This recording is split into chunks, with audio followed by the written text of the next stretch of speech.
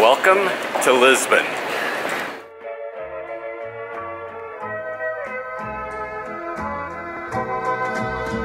I'm only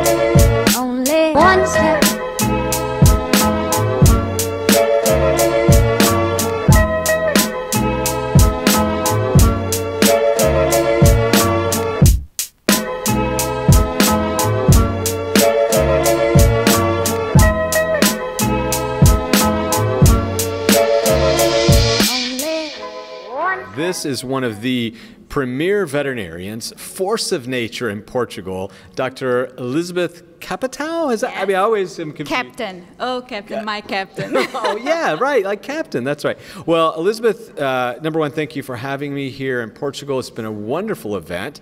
Um, this is the first Congress convention like this in Portugal, right? yes, the, uh, here in Portugal we don't have any business conferences in veterinary medicine. So in my uh, working days, I, I realized that um, in veterinary teams we lack of competences of leadership and management and communication with clients and within uh, the teams.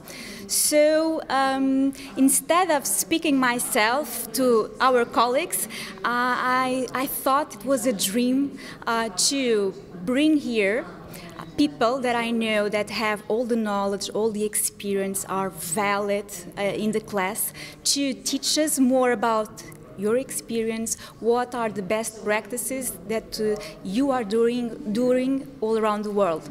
So this is a kind of a tool Yeah. this, this um, conference is a tool for our colleagues here in Portugal because we have to put our business in another level of quality of service and uh, customer service. Right. What's the biggest challenge that veterinarians, veterinary nurses in Portugal are facing? What, what's the biggest thing you're trying to help them with? I think the main problem here is communication. Communication with clients. Uh, we are um, having lots of problems to um, put value on our work. And we're always excusing that client don't have the money client don't want to do the procedures. But i think we are afraid to communicate and afraid to talk about money. And i think it's the big problem the, the other problem of communication is inside of our teams. Because sometimes we don't talk with each other. We don't have a purpose in our businesses so we don't know where to go. So everyone is doing lots of things are frustrating tired doing lots of work hours without a purpose. And i think leaders of these businesses have to um, first stop and i help them to stop think about their business find a purpose for the next years and communicate that to their teams You know what's amazing, Elizabeth, listening to you talk is these are the same issues all around the world, you know? So, what does the normal day look like? When does it start? When does it end? okay here we have mainly clinics, small clinics with uh, two to four or five vets and uh, two or three person to help. Some are nurses, some are don't are nurses. And, and we have large hospitals with 20, 30 vets. It's uh, different realities. So normally clinics open at 9 and go to 8 p.m. Uh, um, hospitals are opening all all the periods. Do they take a lunch break? Do they close for the middle of the day? In clinics, yes. Some some of them uh, close uh, to lunch, um, mainly outside big cities. But in Lisbon and Porto, uh, Algarve, um, these uh, bigger clinics uh, have a, a, a full a full time uh, offer. So, nine in the morning till maybe eight at night. How many days a week are they open? Normally from Monday to Sunday. Every day. Exactly, normal.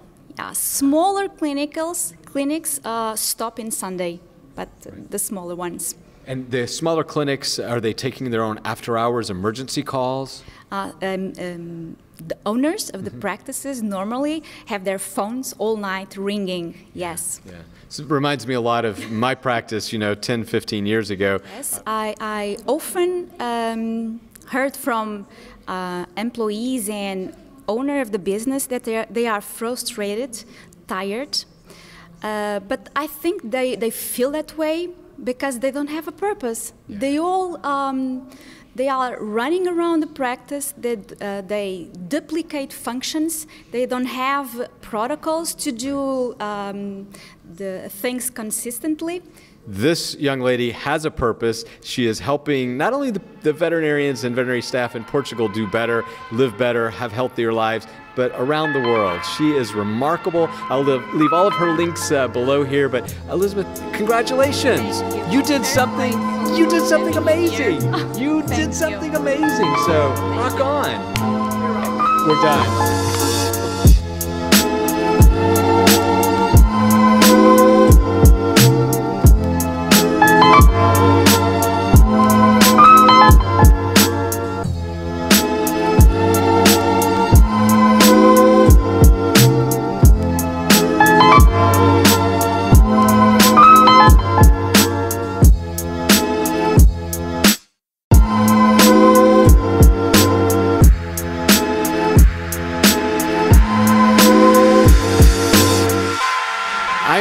With a very special friend and guest. Uh, this is Dr. Brian Faulkner, all the way from Ireland. Say Ireland? Ireland. Where, where in Ireland exactly? Well, I grew up in a town called Cookstown, which is right in the centre of Northern Ireland, uh, so right in the middle. Okay, so Northern Ireland, middle. I got that part. There's something Yeah, else in yeah. there. But the reason that uh, Brian and I are here again in Lisbon speaking at Revet, the first ever conference like this in Portugal, but there's something that he just completed that is quite amazing, inspirational to me on a personal level, but I wanted to share his story with you. Well, I completed 10 marathons in 10 days. Let me repeat that 10 marathons in 10 days. And that was about six weeks ago, so it was April, and we went all over the British Isles. So we started up right up at the most northerly point, and uh, that's John O'Groats, which is the most northerly tip of the British Isles.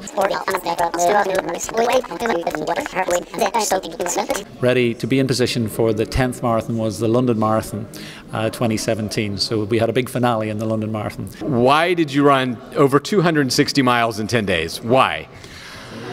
Well, why do we do any crazy thing? I mean, I'm not even a runner, okay? Honestly, I don't think of myself as a runner. And people are going to go, you, you're a runner now, Brian. You've gone and done, done 10 marathons. You have to be a runner. And I go, I don't think of myself as a runner. I had never ran more than six miles two years ago. Are you serious? Honestly, never ran more than six miles. I did my first half marathon in March 2016. I did London Marathon in April 16 as my very first marathon. And then I shared with a colleague uh, there was a little bit too much alcohol involved in our creativity and our innovation. You're Irish. And, and yeah, I know. And I said to her, I, I said, uh, I got this crazy idea. I, I, you know, a crazy idea. It's just to try and ramp it up for charity, uh, to draw a lot of attraction to this charity, which is the Brooke Animal Hospital. And we said, I said, I'm thinking of doing 10 marathons in 10 days. And I think it was the moment she said, I'm in. And I went, okay.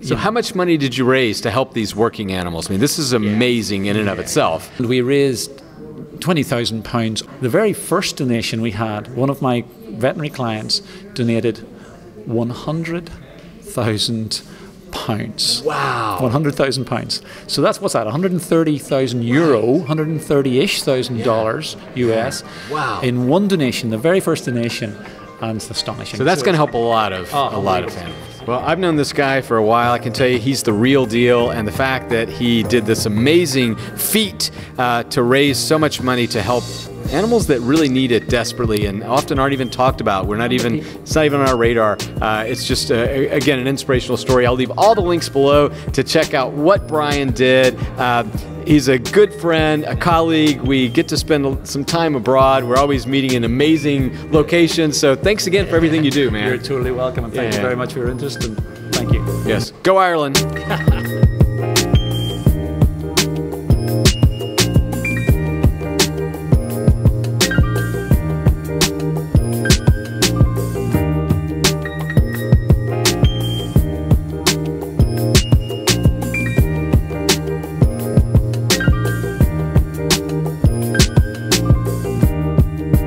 My name is Gayle Craig, and I am a regional manager for a corporation called VetCor. Um, I've been in the veterinary practice field for uh, about 28, 29 years now, and uh, managing for a good portion of that. Uh, my territory and the hospitals I manage, I personally manage 19 hospitals at this wow. time. Yeah. yes, I'm, I'm glad you're impressed with that. what, are, what are the big issues you see that vet teams face today? Uh, staff training and then the retention are the biggest things.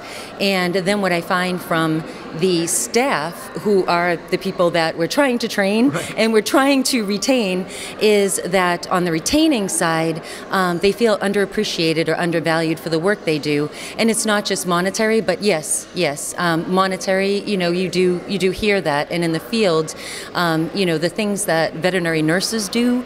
Um, I mean, some of them are qualified to be veterinarians. Um, a veterinary manager or owner is watching this, what are some simple things they can do to show their staff they care? That's a great question. Uh, really, just FaceTime FaceTime is is huge, and some people don't want FaceTime. They might be a little intimidated when the boss wants to come to talk to them, but you know maybe they're intimidated because the only time you've been talking to them is to criticize them about their work or do a review, and people don't like that. There's anxiety around it. Thank you again. Yes, thank you. Yes. And we're in Lisbon. Yes. Yes. Yeah. Oh, well, no. no. I never. I'm only.